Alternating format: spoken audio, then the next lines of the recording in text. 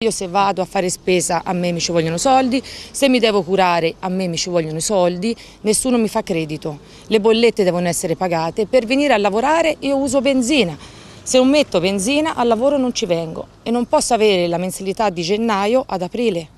Questa l'accusa mossa da alcuni dipendenti sanitari di quattro strutture del territorio aretino e dal sindacato autonomo degli infermieri Nursid. Sarebbero decine e decine i professionisti senza stipendio dal dicembre dello scorso anno. Villa Mimosa, Podere Modello, Santa Rita e RSA Maestrini le strutture coinvolte in questa bufera. Sono oltre 100 delle quattro strutture che conosciamo qui nella zona.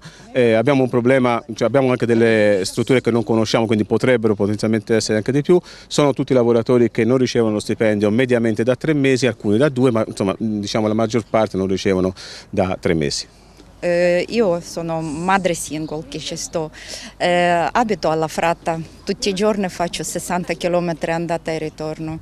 Eh, c'ho un figlio da crescere di 6 anni, poi ho in affitto, prestiti, siamo veramente messi tutti quanti in ginocchio.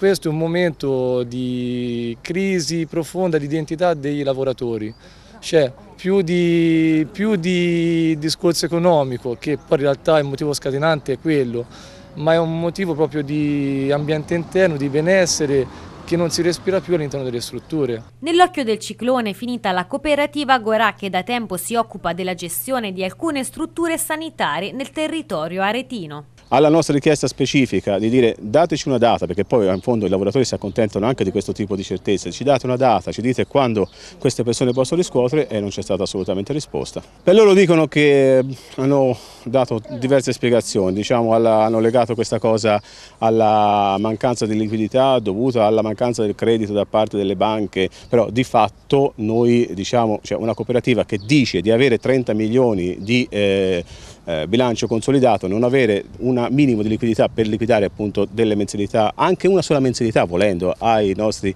eh, lavoratori, credo che sia assolutamente inconcepibile.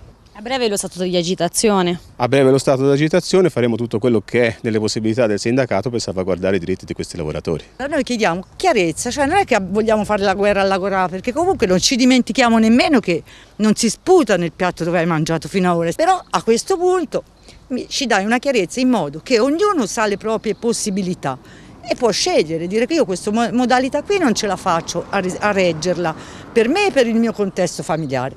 Io posso resistere, uno può dire e aspetto, però sapere a cosa andiamo incontro. È arrivata intanto anche la ferma replica della cooperativa Gorà tramite un comunicato nel quale smentisce quanto affermato dal sindacato autonomo degli infermieri pur non negando che ci sia un problema di liquidità e che questo comporti un ritardo anche nella corresponsione degli stipendi, precisa Agorà, i dipendenti delle strutture Villa Mimosa, Podere Modello e Santa Rita hanno riscosso tre mensilità dal 1 gennaio 2016 con il pagamento nel mese di aprile dello stipendio di dicembre, mentre la tredicesima era stata regolarmente riscossa a fine 2015. Per quanto riguarda la RSA Maestrini è stato invece già corrisposto anche lo stipendio di gennaio.